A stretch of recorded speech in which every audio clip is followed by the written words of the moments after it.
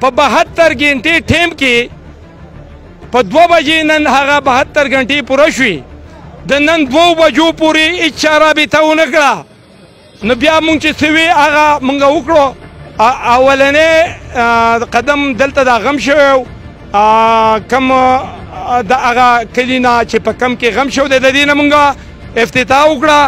دا به دلته په ځای ناسي سبا به ان شاء الله په مدین کې او په فتحپور تحصیل کې دواړه روډونه بندو او ان شاء الله په بټګرام مرګري راغلي دي په دیر کې به مونږ به سه چلو په دیر کې به روډونه بندي په ټول پاکستان کې به روډونه ان شاء الله بني جام به دا زمونږ سره ټول خلک دي زمونږ سره پښتو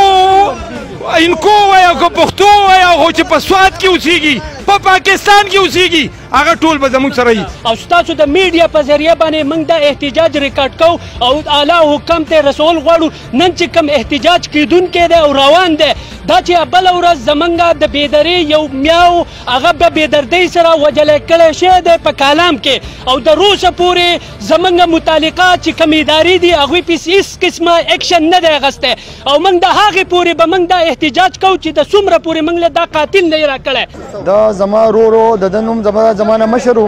د ده نه میا فضل احمد نوم او چې ډېر په بېدردۍ سره په مټلتان کې او د کوستاني د ډز د لاسه شهید کړی شو او زموږ سره ډېر زیات ظلم وشو او متعلقه پولیس افسران یا د هغې اسپتال والا زمونږ سره هیڅ اکومک او هیڅ ونه کړی شو او په دې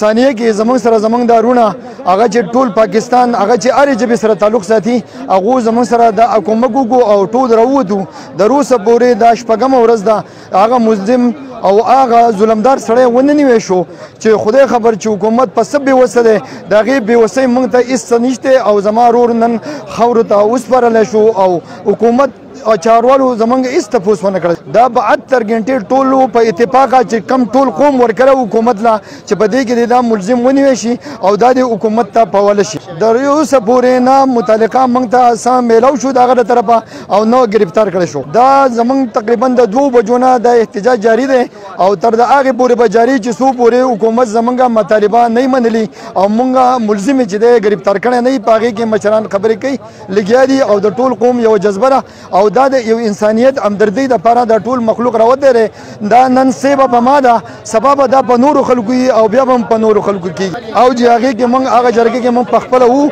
او پخپله ناست وو هغه وخت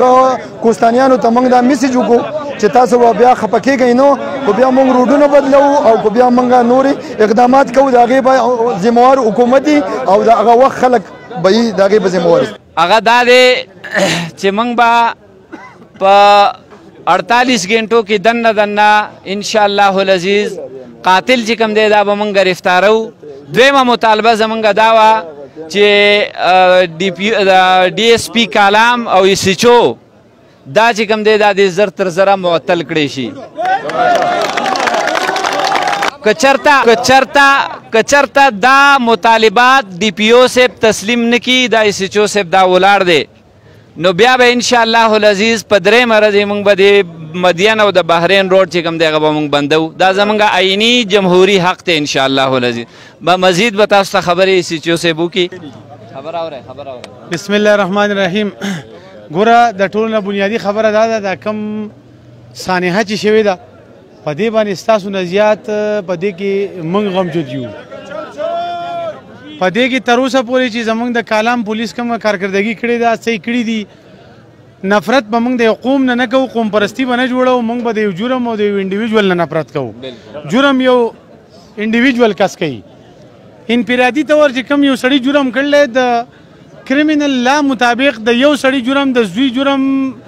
پلار ته یا د پلار جرم زوی ته یا د زوی غ مور ته یا د لور غ خور ته هغه ته د قانون په نظر کې نشي ملاوي دی ځکه موږ چې په دې کلی په دې علاقه کې اوسېږو موږ به یو آئینی اختیار لرو زمونږ د اختیاراتو به هم یو لیمیټ وي، زمونږ د ریسپانسیبیلیټي به هم یو لیمیټ وي، رایټ اینډ ډیوټیز په مونږ ټولو باندې یو شان راځي. بعضې څه خبرې کورې داسې دي چې هغه زه د میډیا په طور تر اوسه چې مونږ څه کړي دي هغه زه نشم کولی، هغه ما د جرګې سره اف د ریکارډ خبرې کړي دي. اوس سر دست دا پوزیشن دی چې دوی له مونږه دوه ورځې ټایم ورکړی دی، دوه ورځې ټیم پورې به ان شاء الله موږ دیو ته تسلی بخش جواب مخې ته کوو ان شاء الله که فرض که ان کیس دوه ورځې کې موږ ونه کړو بیا د دیو پوره من احتجاج چې کوم دی پوره من احتجاج د دیو حق دی خو روډ بندول یا نورو ته تشدد رسول دا شی چې کوم دی نو دا پوره من نه دی لهذا دا ایس ایچ او صاحب راغلی دی د مټې د تاڼې ایس ایچ او صاحب دی زمونږ قابل احترام دی دی د دې سوات د خاورې بچی دی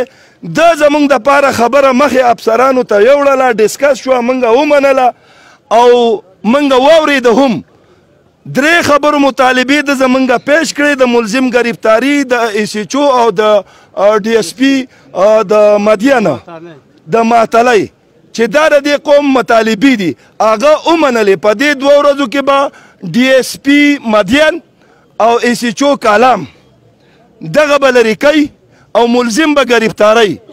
اوس د ګرفتارۍ که هغه چېرته په یو سوړه کې ناست دي بل وطن ته تللی نو موږ دوی ته داسې ګوته هم نه نسو خو زمونږ احتجاج چې کوم دی دا زمونږ حق دی دوه ورځې بعد به بیا موږ خپل نوی اعلان کوو او هغې لپاره به ټول قومونه روځي او د کالام او د اوشو او د مټیلتان روډ به بیا په مدین کې بني او د هغې ذمه واري به بیا د حکومت خیبر پښتونخوا